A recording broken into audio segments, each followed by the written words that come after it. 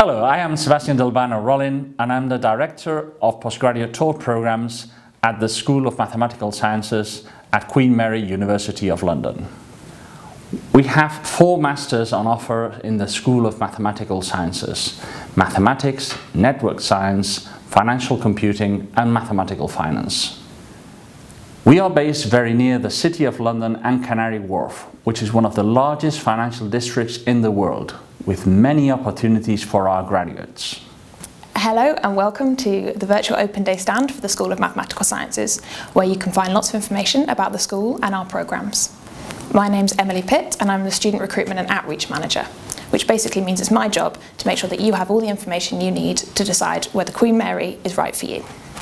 If you have any questions, please just post them in our online chat and I'll be here to answer them. I'll also be joined by some of our current academics and students who can share their own experiences of life at Queen Mary.